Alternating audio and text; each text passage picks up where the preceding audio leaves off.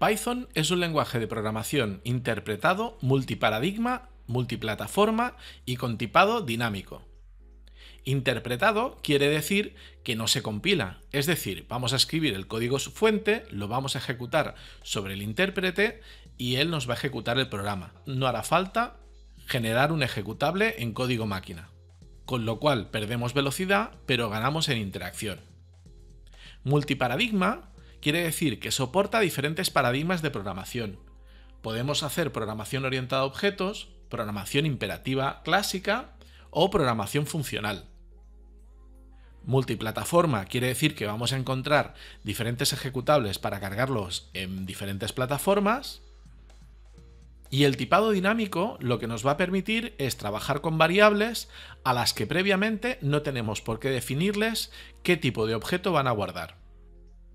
Python es un proyecto open source de código libre que mantiene la Python Foundation. Podemos descargar las dos versiones existentes de Python desde la web python.org. A la hora de descargar nos vamos a encontrar que mantienen dos versiones, la versión de Python.3.5 y la versión Python 2.7.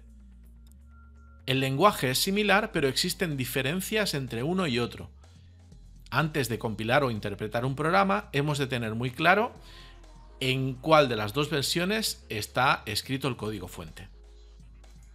Instalarlo es tan fácil como hacer clic en la sección Download y descargar la última versión existente para nuestro sistema operativo. Una vez descargado e instalado, nosotros en nuestro caso vamos a utilizar la versión 2.7, podemos ejecutar Python o compilar programas de tres maneras distintas. La más sencilla y directa es abrir un símbolo de sistema, escribir Python y se nos carga directamente el intérprete de Python. Cualquier instrucción que escribamos aquí dentro se interpreta y se ejecuta por el intérprete de Python al momento. Otra cosa que podemos hacer es utilizar un editor de texto, como puede ser el Notepad que, viene por defecto con Windows, para editar un archivo. Normalmente los archivos de código fuente de Python tienen la extensión .py, así que voy a ejecutar el Notepad que abra el archivo hola.py. En este archivo de texto plano voy a escribir las instrucciones de Python y grabo el archivo. Cuando desde el símbolo escribo python hola.py, ejecuta el programa. La segunda forma de trabajar con Python es utilizar un editor de texto un poco más elaborado.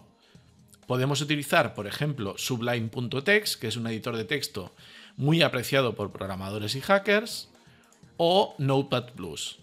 Estos editores de texto son similares a un blog de notas, pero que nos permiten integrar la interpretación de Python directamente con el propio editor. La tercera forma, que es la más recomendable para empezar a trabajar, es buscar un intérprete de Python online. En nuestro caso vamos a trabajar con repl.it. Esta web online me permite ejecutar instrucciones en el intérprete de Python aquí a la derecha o escribir programas en Python directamente en la ventana de la izquierda y después ejecutarlos haciendo un clic en Run.